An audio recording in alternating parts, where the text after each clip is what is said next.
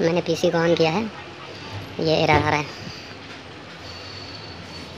अब देखिए, इसको मैं अगर F1 करके कंटिन्यू कर रहा हूँ। ये मैं सिस्टम को डी ड्राइव में मेरा ट्वेंटी जी बी अनलोकेटेड था और उसके साथ में मैंने उसको ई जी बी में ई ड्राइव में मर्ज करना चाहा। उसके बाद जब मर्ज किया तो रिबूट मांग रहा था। रिबूट करने के बाद तब से सिस्टम ऑन ही नहीं हो रहा है। ये आता है डिस्क बूट फेलियर आता है। Insert system disk and press enter USB drive से भी कनेक्ट करने की कोशिश की, लेकिन ये ऑन नहीं हो रहा है। ना ही ये विंडोज़ का फ्रेश इंस्टॉल क्लीन इंस्टॉल ले रहा है। तो अब मैं बताता हूँ इस ऐसी सिचुएशन में हमें क्या करना चाहिए।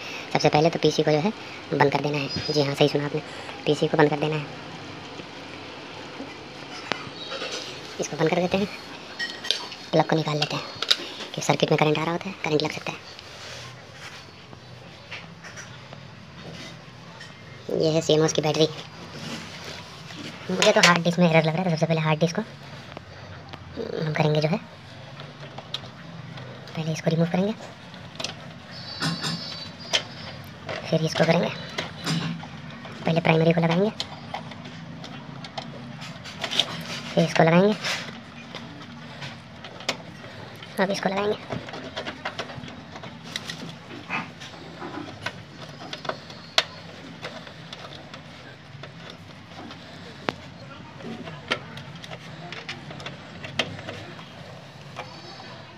अब ये अगर हार्ड ड्राइव की वजह से एरर आ रहा होगा तो अभी इसकी वजह से हार्ड ड्राइव की वजह से एरर नहीं आएगा। ये करने के बाद। मदरबोर्ड से भी इसको डिस्कनेक्ट करके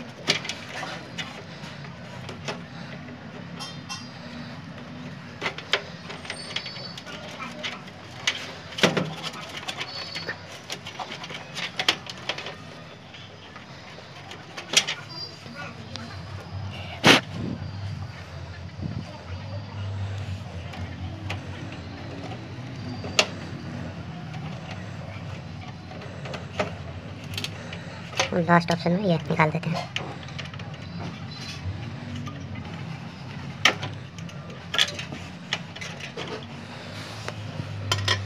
अब इसको पाँच मिनट तक ऐसे ही रखेंगे, उसके बाद में इसको फिर री इंसर्ट करेंगे री इंसर्ट करने के बाद फिर देखेंगे क्या है। तो अभी पाँच मिनट वेट करते हैं, फिर इसको री इंसर्ट करते हैं। तो इसको वापस लगाते हैं, उसके अंदर आइए। पाँच मिनट हो गया है। इसको बस ज़्यादा कुछ नहीं लगाते वक्त कोई इतनी दिक्कत की बात है नहीं। बस इसको जो है, ये काम बन गया।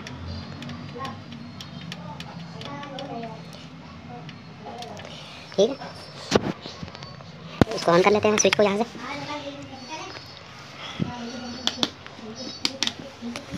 अब ऑन करते हैं।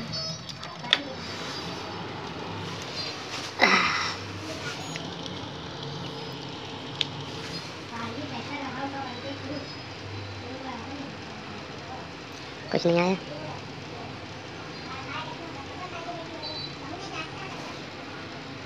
लाइट जल गई आ रहा है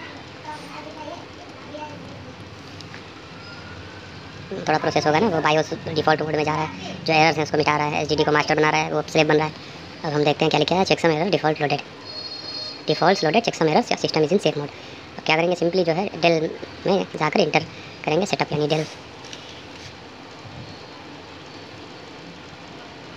स्टैंडर्ड सी फीचर्स में जाकर डेट को चेंज करना है। 2023 आज है मेरे ख्याल से 10 जनवरी और टाइम हो रहा है इस वक्त लगभग, मेरे ख्याल से साढ़े तीन बज रहे हैं दोपहर के तो पंद्रह और तीस। ठीक है, ये हो गया। अब एफ़ टेन करेंगे और स्केप करेंगे, उससे पहले एक बार चेक कर लेते हैं एडवांस बायोस में जाकर के कोई दिक्कत तो नहीं। Boot sequence and floppy setup removal device priority hard disk में प्रायोरिटीज़ की है चलिए ठीक है, ये सब ठीक है। अब कुछ भी इसमें नहीं करेंगे। सीधे बाहर जाना है, उसके बाद में जो है एफ़ टेन यानी सेव करना है। अब देखते हैं क्या दिखाता है। अब सेफ़ मोड में कंप्यूटर जाएगा ऑन होगा कि नहीं होगा, क्योंकि हमारा कंप्यूटर जो है बूट मांग रहा था सीडी से ऑन नहीं हो रहा था। अब देखते हैं क्या कुछ वही चीज़ हो रही है या नॉर्मल चल रहा है सब कुछ। अगर ये नहीं होता है तो आगे हम दूसरी तरीके से भी इसको बनाने की कोशिश कर सकते हैं। जैसे कि ये कर सकते हैं कि आईडी चैनल को हम मास्टर स्लेव अभी तो ज़ीरो है इसमें, पर मास्टर हम बना सकते हैं, दूसरे हार्ड डिस्क को हम उसमें जो है कनेक्ट करके साटा वन और साटा टू में जब उसको डालेंगे आईडी चैनल से कनेक्ट करके तो वो हाँ मास्टर स्लाइव उसका यूज़ आ जाएगा वेब क्लिक करके देखते हैं क्या होता है। अभी भी नहीं हो रहा तो हमें ये करना होगा कि अब फ्रेश इंस्टॉल यानी क्लीन विंडोज़ इंस्टॉल करना पड़ेगा, उसके लिए यूएसबी के थ्रू मैं करूँगा, क्योंकि अब सीडी वगैरह तो अब आती नहीं, कोई यूज़ भी नहीं करता डी वगैरह मेरे पास कैसे भी नहीं अभी। देखिए डिस्क बूट फेलियर वही चीज़ आ रही है फिर से। सिस्टम डिस्क एंड प्रेजेंटर कह रहा है। तो हम फ्रेश इंस्टॉल करने की कोशिश करेंगे। दिखाता हूँ कैसे करना है। पहले कंप्यूटर को ऑफ़ कर देना है। थोड़ी देर तक इसको प्रेस करेंगे, फिर ऑफ़ हो जाएगा। ऑन ऑन नहीं होने देना इसको ऑफ़ ही कर देना है। ठीक है? मेरे पास ये पेन ड्राइव है ओटीजी है S B O T G thirty two G आप देख सकते हैं। फ्लैश की वजह से इतना साफ़ दिख नहीं रहा है। थर्टी टू जी का है। इसमें मैंने विंडोज़ टेन इंस्टॉल किया एक्स थर्टी टू का। इसको पहले मैं लगाऊँगा यहाँ।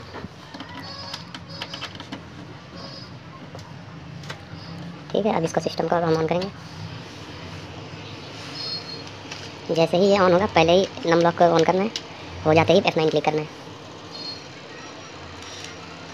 अब क्योंकि एफ़ वन टू कंटिन्यू मांग रहा है तो हम क्या करेंगे? एफ़ वन यहाँ पर क्लिक करेंगे। उसके बाद इसको एफ़ क्लिक करते एफ़ नाइन फिर प्रेस कर देंगे। और एफ़ नाइन को प्रेस करते रहेंगे। देखिए, ये आ गया हमारा। रिमूवेबल हार्ड हम लोग क्यों हमने हार्ड डिस्क में रखा हुआ है, ये रहा सैंडिस का। इंटर तो हम क्लीन इंस्टॉल करेंगे विंडोज़ को फिर से okay done thank you like करें सब्सक्राइब करें वीडियो को। और ढेर सारे लोगों तक पहुँचाएँ, जिससे मैं और प्रेरित होकर और सारी वीडियोज़ बना सकता अब इतना करने के बाद भी सब कुछ कर लिया, फिर भी ये बूट नहीं ले रहा है। अब क्या करें? तो आइए देखते हैं, फिर से इसको इसको ऑफ़ करेंगे। फाइव सेकेंड्स तक ऑफ़ रखेंगे। यानी प्रेस करके ही रखेंगे। अब इसको छोड़ेंगे। फिर से ऑन करेंगे। अब जैसे ही ये खुलेगा नम लॉक दबाते ही F2 F2 को प्रेस करना है। जैसे स्क्रीन आएगा F1 से कंटिन्यू बताएगा ये करने को। उसके बाद में F1 क्लिक करेंगे। M2 को दबाए रखें F2 को दबाए रखेंगे, छोड़ेंगे नहीं। F1 क्लिक तो कर दिया, पर F2 को दबाए रखना है। देखिए मैंने दबा के रखा हुआ है।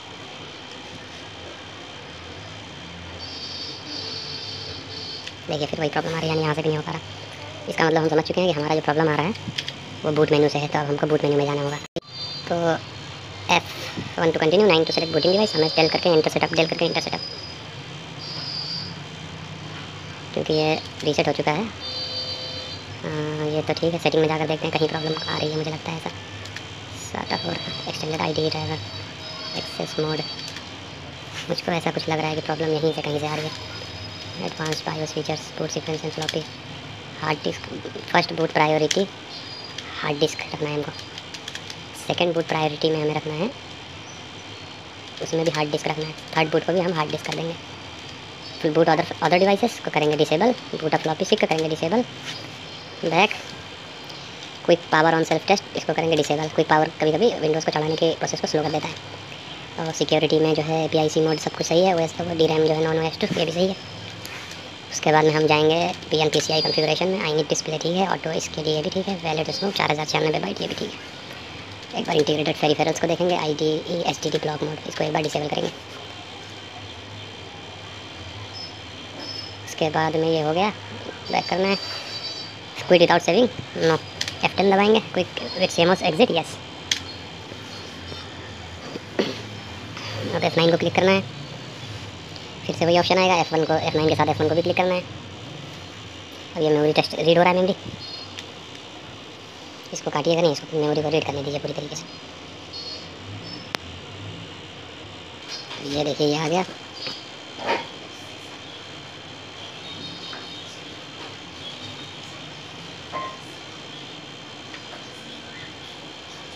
Boot disk verify in D M I full data disk boot failure error वही चीज़ आ रही बार बार कुछ काम ही नहीं कर रहा समझ नहीं आ रहा क्या हुआ देखिए सब बहाने चल रहा है, दूसरा जुगाड़ करते हैं इसमें, ये हार्ड डिस्क का जो पैनल है।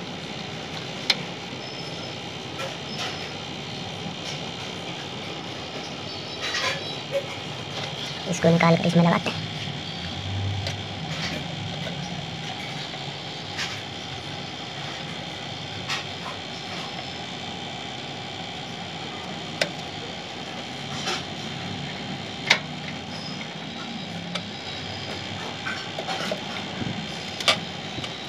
दूसरे दूसरे एस डी हार्ड डिस्क है एस लैपटॉप का hard disk S S S D है अब इसके ज़रिए हम ऑन करने की कोशिश करते हैं, चलिए। देखते हैं क्या रिस्पॉन्स आता है। उसको निकाल लेते हैं एक बार चिमटी से। सॉरी वो कहाँ गया?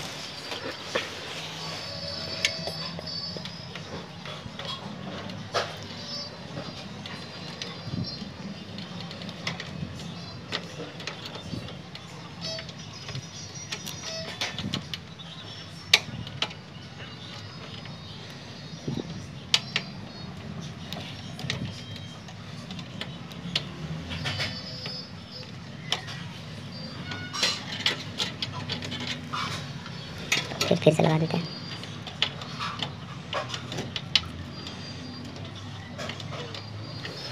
करेंगे। देखिए ऑफ़ हो गया, तुरंत ऑफ़ हो गया। नहीं ले रहा ये।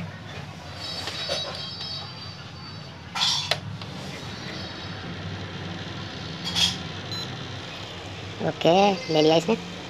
पर बूट नहीं कर रहा केबल नॉट कनेक्टेड आ रहा है। इसका मतलब है कि ओके ओके ओके ओके। काम कर रहा है।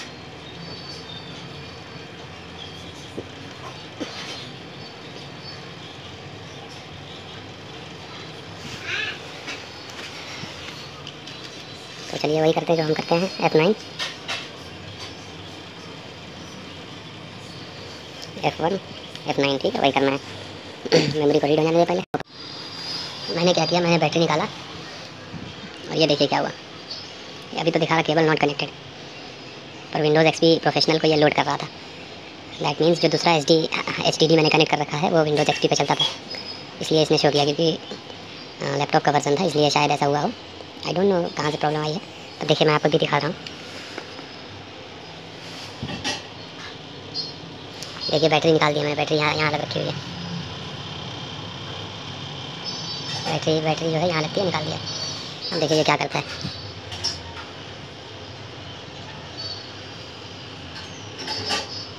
विंडोज़ एक्सपी को लोड करेगा ये।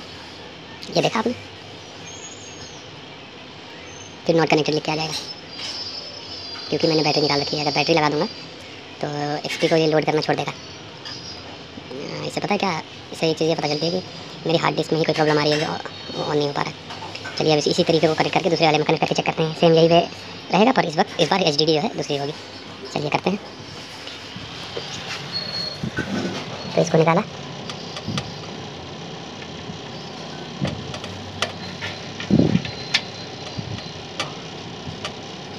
नीचे से पकड़ें इसको हमेशा अंदर से पकड़ें। बाहर पत्ते से पकड़ना है या प्लेट से पकड़ेंगे तो शायद टूट सकता है।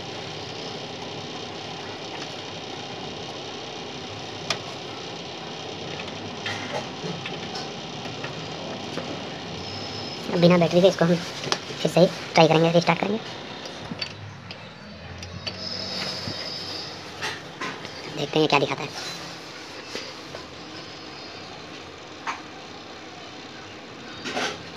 चलिए एफ़ करते हैं।